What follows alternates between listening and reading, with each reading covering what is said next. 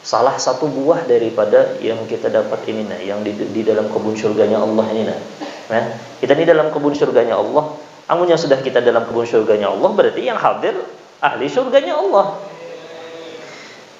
Buahnya buahnya daripada kebun surganya Allah yang ada detik ini nah itu adalah nyaman kena hendak mengucapkan kalimat la ilaha illallah ketika sakaratul maut. Itu buahnya tak jadi hadangnya. Makanya apa jara baginda Muhammad? Mengqala la ilaha illallah.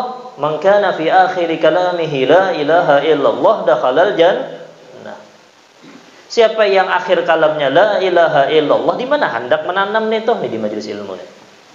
Kena buahnya, nyoba buah, kena berbuah. Biar kada berasa apa? Kena aja merasakannya.